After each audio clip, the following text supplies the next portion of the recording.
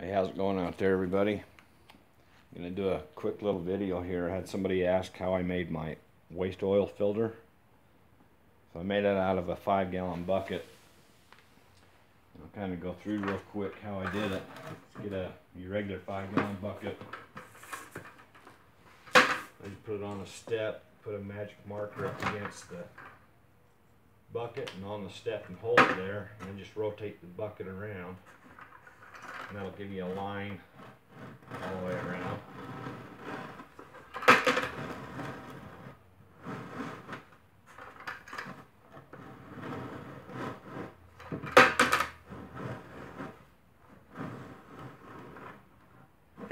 Just like that. And you can adjust that wherever you want, up or down, depending on how deep you want your bucket to be. So then I'll cut the bottom out of it. I just use my finger on the on the edge there and just go use that as a guide.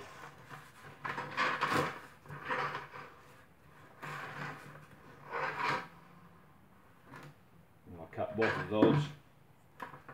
And I use a four inch cutoff wheel on a grinder and it cuts through there really easy, but you can use a regular saw on that.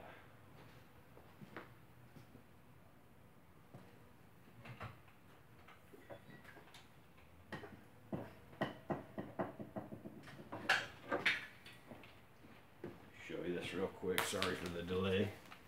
But uh, it's a grinder with a cutoff wheel. You just follow that and cut that around.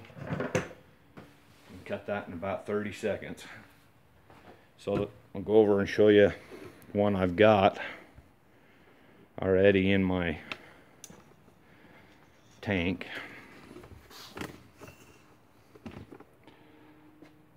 Get a light on it maybe. So this is what I've got in there. What you do is after you cut the bucket, the bottom out of it, you take a, I use a t-shirt, an old t-shirt, and sandwich it in between the two, push it together, and there's a filter. You can see the stuff I got in there. There's a piece of wire, a bunch of big chunks. But after this is all ready to clean it out, you can either change it, and then I cut up this old one and then use it to start my waste oil heater. Cut it up in little pieces and ribbons, and it's ready to burn. No waste. Using everything. So on this bucket, let me point out, drill a couple of holes in there like that one there around the bottom. You could even go up a little bit higher as well. Because when you're filling this full of oil you're going to get an air pocket in there in my in my case here with what my setup.